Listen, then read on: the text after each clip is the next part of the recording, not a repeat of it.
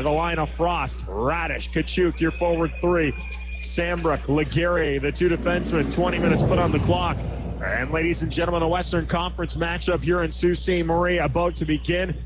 And the first puck will be won back there by Troy Lajeunesse. Uh, the overage Again, got a blocker on that one. Boris Katchouk accepts the pass, steps in, moves it to Hollowell. He'll go to the right side. Morgan Frost working the far boards. Hollowell to his left to Katchouk into the circle.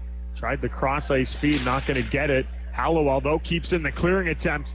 And there by Gurney, working away from him, falls in the play. Erie, odd man rush. Taylor Raddysh has to get back to catch him. Over and across shot and a stop there by Villalta. What a chance that was for Gurney. He had a big opportunity. Point one on the clock. I believe it was 5.7 when they, and you thought it was 5.9. So 5.8. What did I tell you they put on? I haven't seen this. That's too Okay, funny. well, that's good. We don't have to pay. Draw one back. Shot. Scores! Jack Kopacka let it go. The deep face-off gets through, and it's 1 nothing Greyhounds. that uh, 13 assists on the season. And here's Holden Whale. Over to his right side. Right back across. Whale. Up onto the boards. Falling, stripping his man. Barrett Hayton lost it. Shot on. As Hayden Fowler took it away. As there. Joe Carroll down on the far side. And the pocket behind Matthew Villalta. He'll head to the bench. Will that Greyhound and the puck out in neutral territory. Verbeek for Katchouk. Right back, Raddysh. Shot scores! Taylor Raddysh, glove side on Murphy. Third man on the play. Hounds lead 2 0. Hayden McKay, Sambrook has to shovel it onto the wall. And now this is a cross and onto the near side boards. 11 20 to go in the third. Hounds 2, Otters no score. Yetman from the right wing to the goal scores. Side of the net. Was it Gretz or who was the other Otter standing there?